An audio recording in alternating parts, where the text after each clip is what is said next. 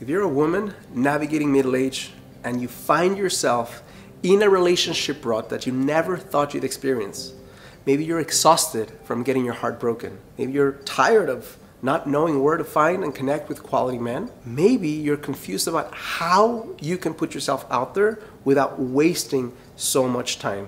If this sounds like you today, I want to share five lessons no one's taught you that can alter the course of your love destiny and help you attract the lover, best friend, and life partner that you've been searching for. The fact that you're showing up and watching this video tells me that you have courage because you could have thrown in the towel at any point in your past and the fact that you're still seeking ways to create a conscious connection with a man, the fact you haven't given up hope, tells me a lot about who you are as a human being. This video is for you if you feel like your prospects have dried up. Maybe earlier in your life, in your 20s and 30s, there were tons of guys knocking on your door, but right now, those knocks are few and far between. And when they come around, they're not the knocks you're looking for. Maybe you connect with guys who are showing up wishy-washy, sometimes he's respectful, with a lack of enthusiasm, with a lack of pursuit, and it's making you feel really frustrated.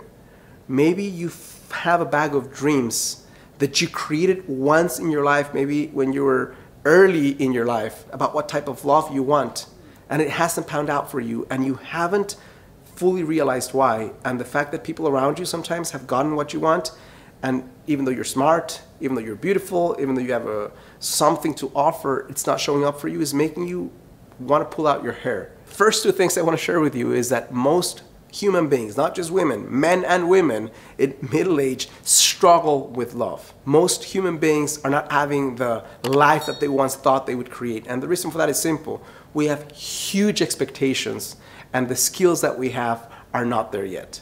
Meaning no one has taught you how to create a conscious relationship. No one has taught you how to attract a life partner. No one has taught you how to vet men.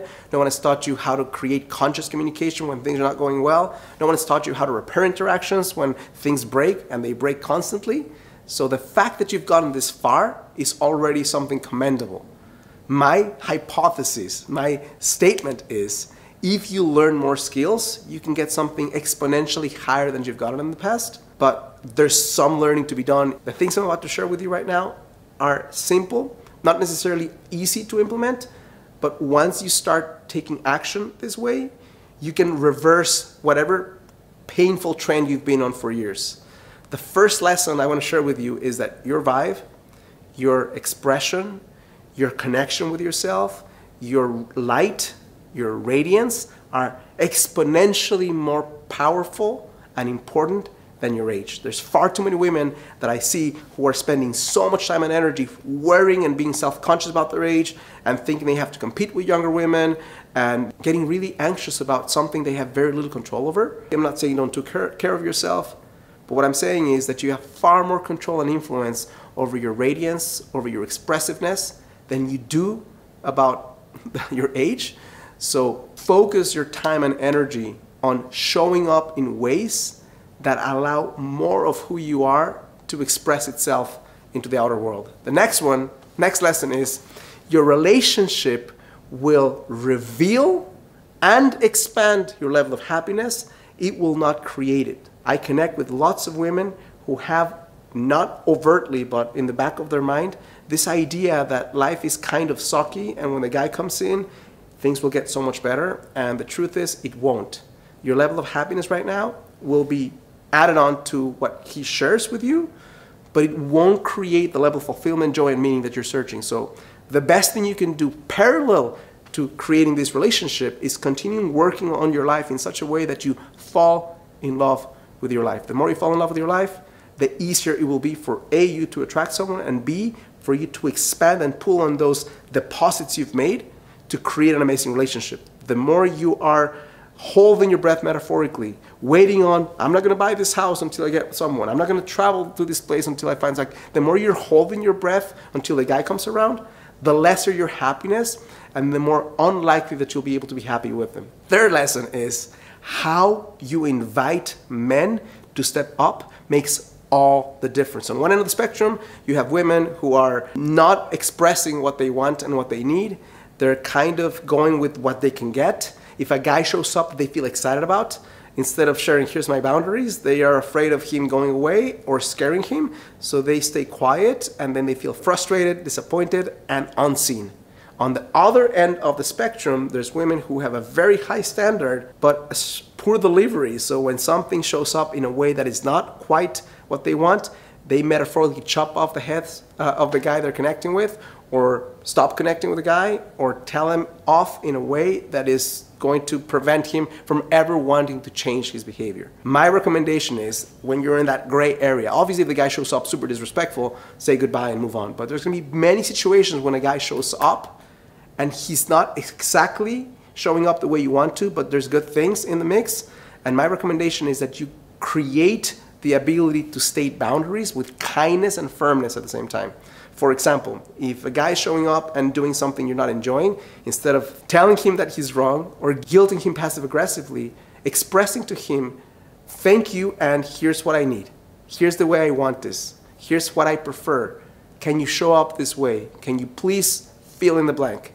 I appreciate what you're doing, and for me, it works better when you do it this way. I prefer it when a guy connects with me between dates. Thank you for the invitation. It's better for me when you ask me with more time in advance because I can actually plan it and make it happen.